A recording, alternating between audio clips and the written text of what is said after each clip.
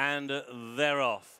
They race over one mile in the Vintage Acquisitions Whiskey Chaser Handicap for female amateur jockeys. And through the very early stages, plenty of pace on here.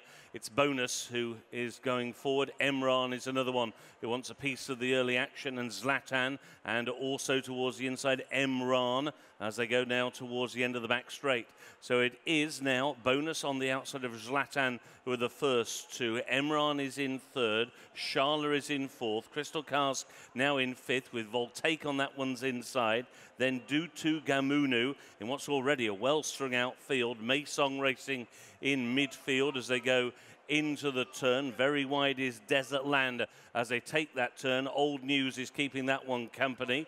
King's Castle is still towards the rear of the field as they make the turn in. Lucayan, another one who's towards the rear of the field, and so too is Monard Jez. It is bonus on the outside of Zlatan, and these two are having their own private battle at the moment. It's carried them four lengths clear of Emran, who is in third, Dutu Gamunu in fourth, Shala, and then Voltaic on the outside, Maysong and Crystal Cask, then Desert Land, then ridden along is Old News. Next in the field is Luke Lucayan. Last but one is King's Castle. The back marker is Monard Jez. They're bunching up now, and it's Crystal Cask and Voltaic who are now the first two. Dutu Gamunu. Here's now Maysong beginning to stay on, followed next by Desert Land, and out very wide is Old News. They've got another half furlong to go, and it is now Maysong who goes on for Fern O'Brien, and he's going clear and on the run to line.